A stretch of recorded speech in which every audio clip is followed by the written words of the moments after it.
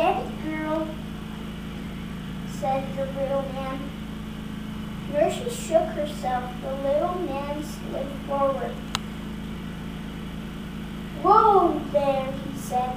Mercy smelled something. It was it. What was it? Butter! Mercy looked around the kitchen. No bread, no custard, but she definitely.